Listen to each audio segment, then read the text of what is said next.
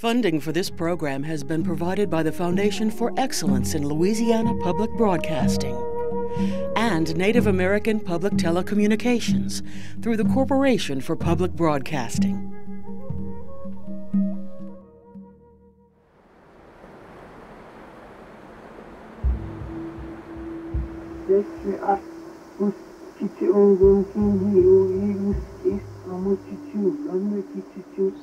I fished where Indian warriors once stalked hardwood oak forests and paddled dugouts through stands of red cypress older than the cathedrals of Europe, where enormous pyramidal mounds rose from clamshell islands off the coast of what would become Louisiana. Four centuries ago, within sight of where I cast my line, a chief stood and jabbed the butt of his spear into the hard-packed beach of white clamshell, and he forbade the conquistadors to come ashore. That chief's name is forgotten. He confronted a future none of his forefathers could have imagined, but some prophesied. Their dreams warned them of the change to come.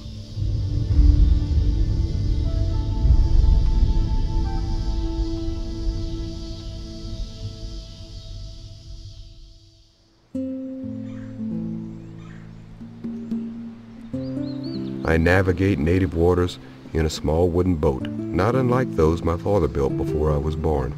He was the last chief of the Chitimacha, a name that means people of the many waters. Along with my grandmother, he passed on to me the traditions of our tribe.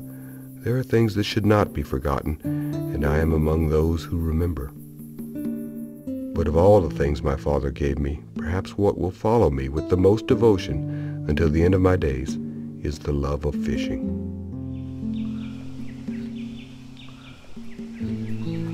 I was raised in a wooden boat. To me, wooden boats are the contact or the conduit between myself and the water. You can't get that kind of organic energy from a fiberglass or from a aluminum boat. From a spiritual and religious sense, this place is my cathedral, it's my temple. The Atchafalaya Basin is the ancestral home of my people. It's over 800,000 acres of wild country, the largest river swamp in North America, bigger than the Everglades. But this fragile wetland is vanishing, and the question is whether the Chitimacha can survive without our native waters. Out there, I feel closer to my Creator, I guess nearer my God to thee, as the song goes, than anywhere else in the world. We go there to fish, but I think fishing is an excuse to be there. If I didn't fish, I'd be there anyway. As a Chitimacha, I am a fisherman descended from a nation of fishermen. Fishing here in the wildness of the Atchafalaya Basin in South Louisiana, my line connects me with eight millennia of ancestors and stories. I fish where a boy named Ustupu was cursed by bad medicine, doomed to chase his six great hunting dogs across the heavens for eternity, where an old couple was turned into bears, where the devil Nikasama reaches out from the fire to snatch children into the hearth. I fish where three dozen villages and 30,000 warriors thrived for 80 centuries. For me, fishing is hooking into the invisible strength hidden in these waters. It is struggling with an irresistible force pulling back and rushing away, towing me with it, at least in spirit, across not only an expanse of water, but a corridor of time. I've been pursuing that force most of my life.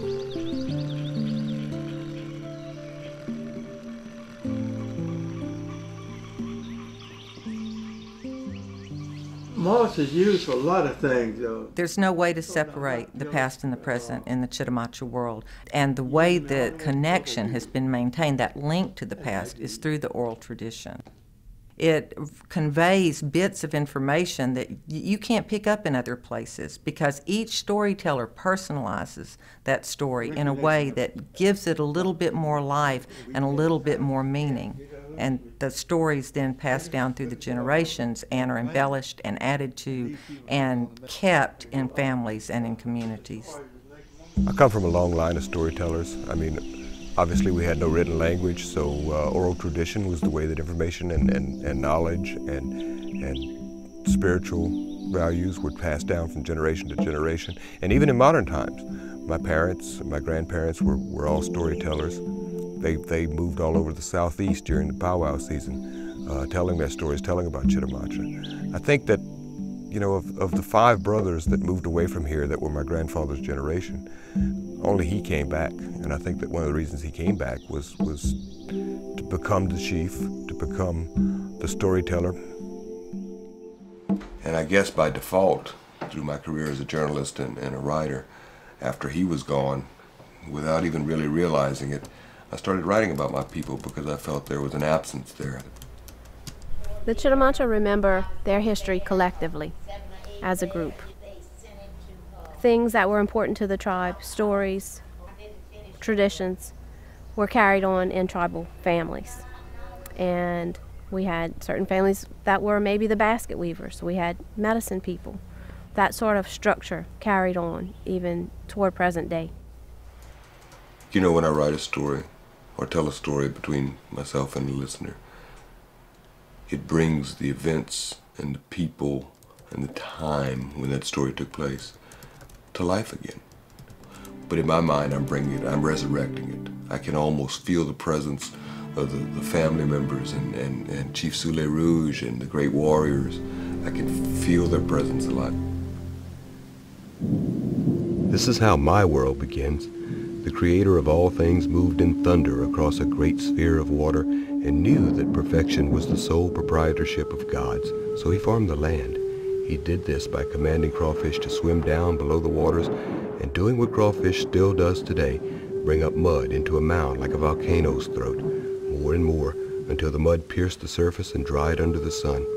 The edge of the sea laps at the margins of crawfish's labor, sifting it away, but rivers move the earth from here to there, dumping it back into the floodplains and basins. Lakes collect and persist, pools of grace to remind those who live too far away from the sea of what lies beyond. There are only three things that remain constant in my life. Crawfish continues to build the land, water continues to confront it, and the infinite journey between the two.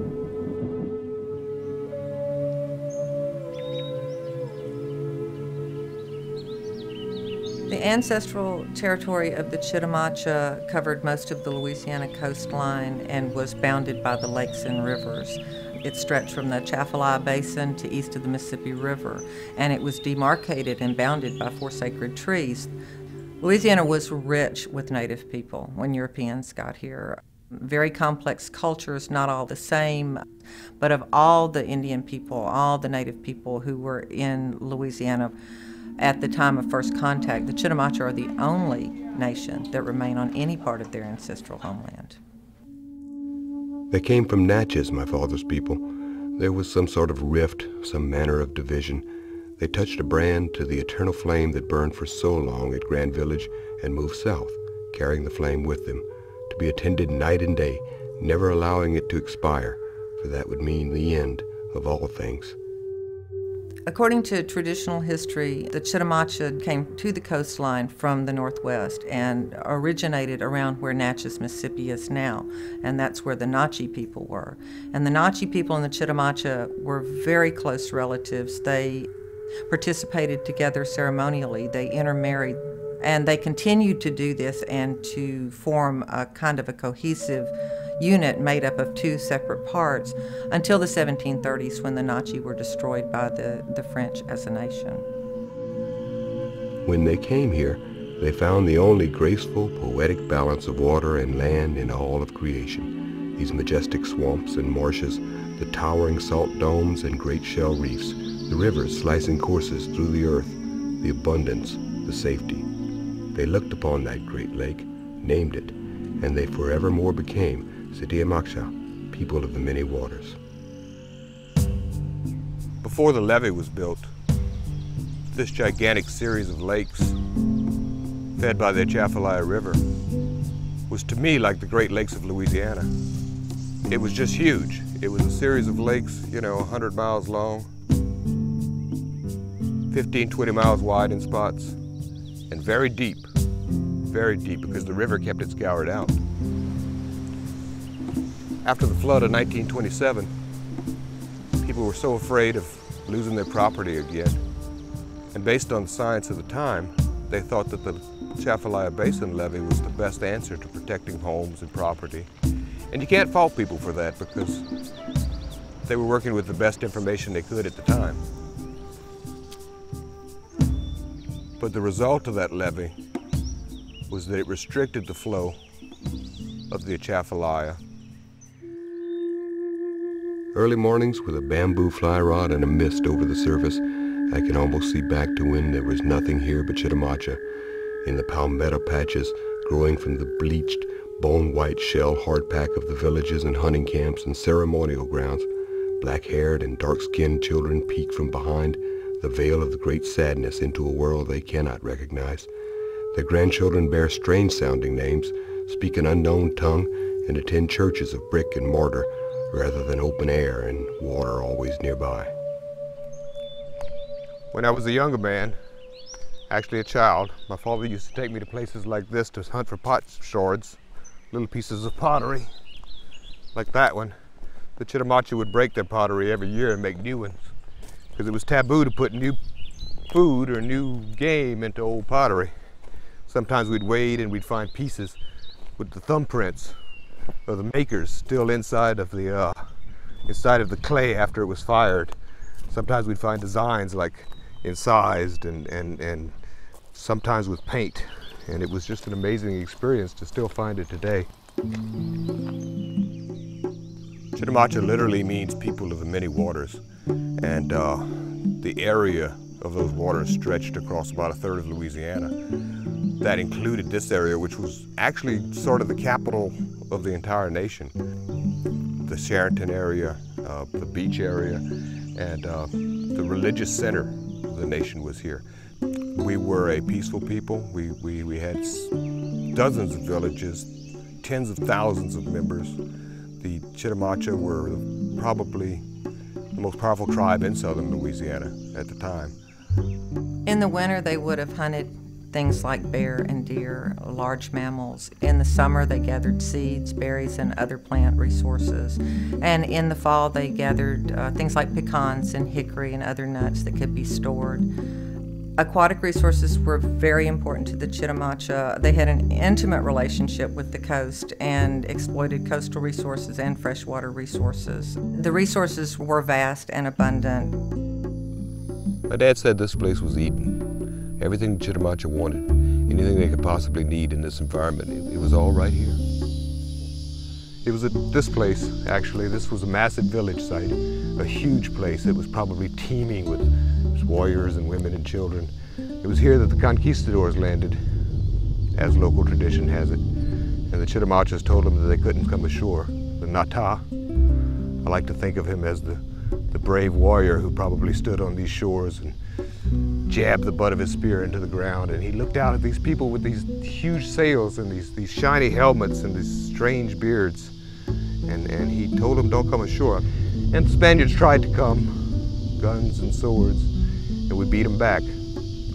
But that was the beginning. That was first contact. That was the beginning of uh, the demise, what we call the Great Sadness, that moment of European contact when everything would change in ways that we couldn't have foreseen and led to almost the virtual extinction of the Chitimacha people.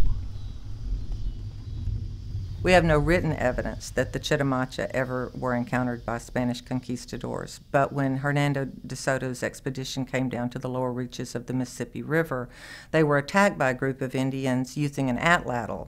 And an atlatl is a tool that propels uh, an arrow or a shaft with a greater velocity and a greater distance than uh, can just be achieved by throwing that shaft and the Chitimacha we know were the, the last of the nations to use the atlatl. And also in the Chitimacha traditional history, there are many stories about Spanish conquistadors coming up Bayou Teche and trying to take captives. And we do know also that there were other expeditions that touched along the coastline of Louisiana in the 16th century. And so it's entirely possible, and not just possible but plausible, that the Chitimacha, who were in control the, the entire coast, were encountered by Spanish people. I believe that much of the conflict through the years between natives and non-Indians arises from a basic difference between the way they view the world and the way we view it. Somebody once said to me that as an Indian, we see things that other people don't see. We see what's behind things, what's through things.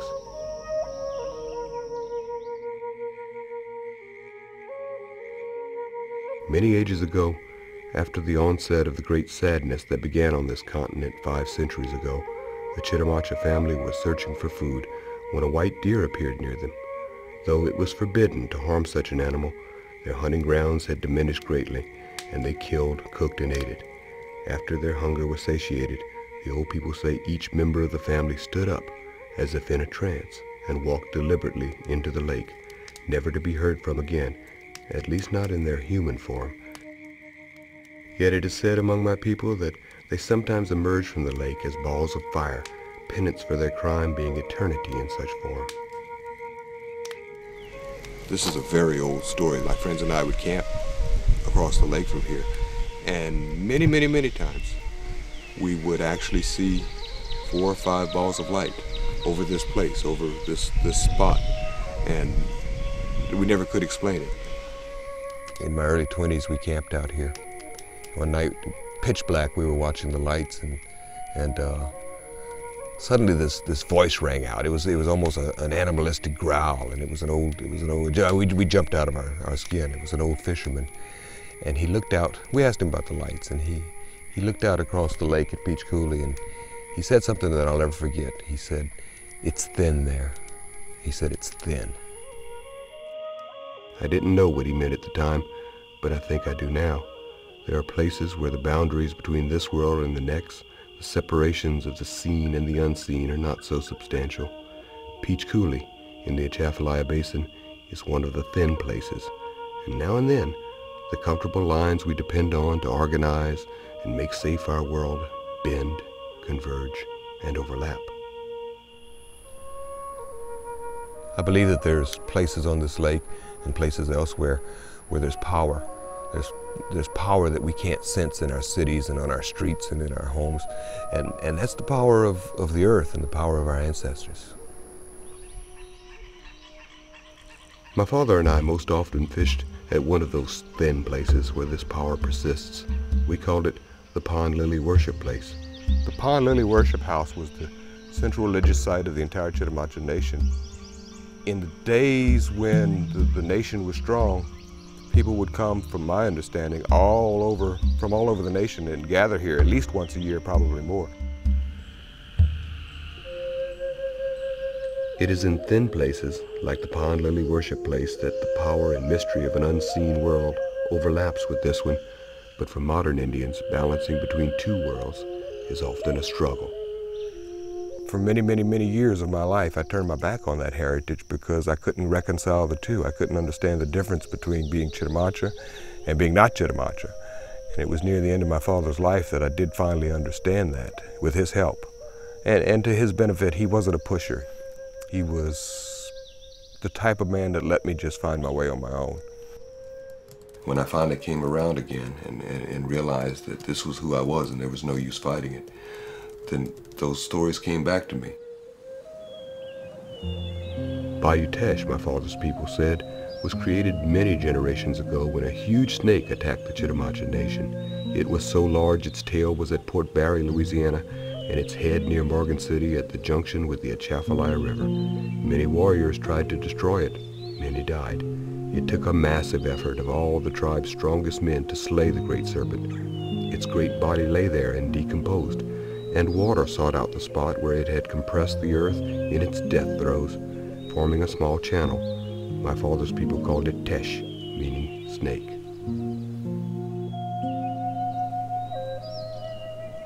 You know, the geologists and the hydrologists tell us that this was formerly a channel of the Mississippi River, and its floodplain created this ridge we're standing on and created all these, these forests. And, and I have no problem with that. I think that the, the spiritual doesn't preclude the scientific or vice versa. The two are not mutually exclusive. It is the inability to believe which astounds me sometimes as I walk along the water's edge, watching small brim strike at bugs and chase minnows. The Atchafalaya Basin is a place where the boundaries between water and land merge, and the two constantly contest with each other. The Chitimacha people have lived at the water's edge for uncounted generations, but today our native waters are under threat. The levee strangled our ancestral lake into a gasping, lethargic web of channels. Later, the oil industry would arrive with steel rigs and hard hats, cut pipeline and crew boat channels, breaking the marsh into dying segments. Sandbars dissect the basin, infested with Chinese tallow and other non-indigenous species. This is Lake Fausse Pointe. This is the ancestral home of the Chitimacha people. At one point, this lake ran eight to 10 foot deep, but the uh, levee just dissected it after the flood of 1927 as a flood protection measure. And now it's maybe, you know, two and a half, three feet, four feet at the very deepest in a, in a few spots. Uh, it's slowly silting in. Um, when we lose a lake like this, we're not only losing an environmental place, uh, an ecological system, we're also losing a, a cultural legacy. It is a challenge for the Chitimacha to maintain our connection with the water. Um, many of us have grown up our entire lives um, being out on the water, hunting, fishing, enjoying time with family. And the condition of the waters um, in the area has changed dramatically, even in my lifetime. With over 1,000 members on the rolls, the tribe resides on a more than 500 acre reservation at the edge of the Atchafalaya Basin. Once a nation of fishermen, virtually none of the tribe makes a living anymore from our native waters it definitely causes an alteration in traditional lifestyles because people have to go away from the community to work in large part. And so that there's a disconnect. The, whereas people used to live together in family groups and community groups, now they still are connected and they still come together. But it's not that daily interaction that has been so important in the past. You know, my grandparents, my grandfather and his brothers had to leave here for opportunity and to, to get away from oppression, and they spread out across the United States. In those days, an Indian couldn't get hired in town. In those days, there was really not much for them to do to make a living. All that's changed now. It's a challenge to be two things at one time. It's a, a challenge for all people to maintain a sense of tradition and yet participate in a, in a world that's basically dominated by tradition that's not your own. And it's a delicate balance to find that way of living in which you are able to embrace what makes you yourself, in this case, Chitimacha people, and, and to embrace that and to pass that forward in your family and in your community group. And it's a huge responsibility. It's not one that's taken lightly. And I've learned to become a member of both communities. It hasn't always been easy. I think the challenge for the modern Indian who, who must exist beyond the reservation is to bring those two worlds together and keep both of them separate, but keep both of them sacred. And it's a challenge. It's a challenge to reconcile the two. What were the lights on the lake? Well, it was a, just a sort of a ball of fire. It was a little ball, you know, be bouncing on the water, and then you shoot up in there.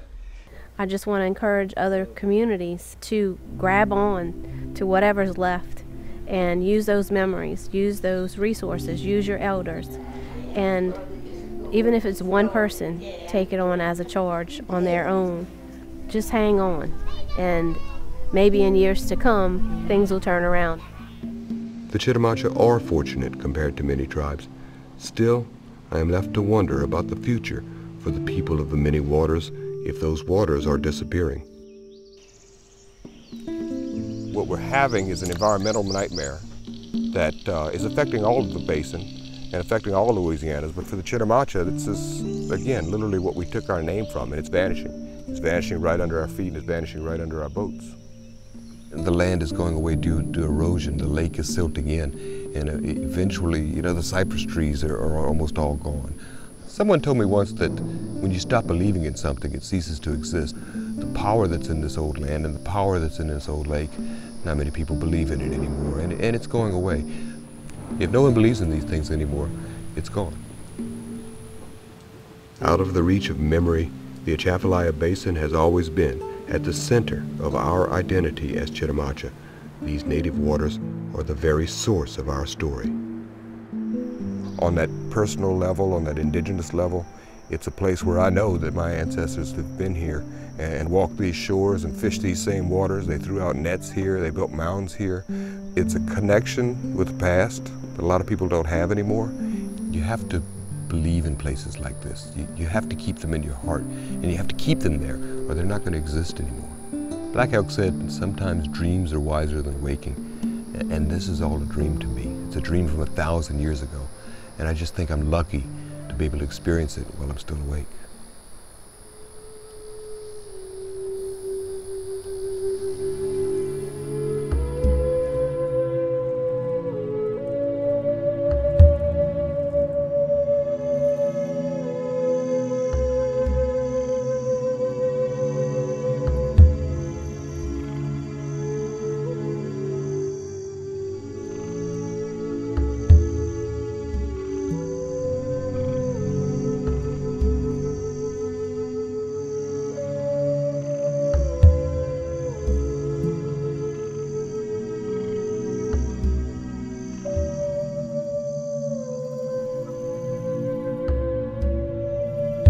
For more information about this program, visit us online at lpb.org. Funding for this program has been provided by the Foundation for Excellence in Louisiana Public Broadcasting and Native American Public Telecommunications through the Corporation for Public Broadcasting. For a copy of this program, call 1 800 973 7246 or go online to www.lpb.org.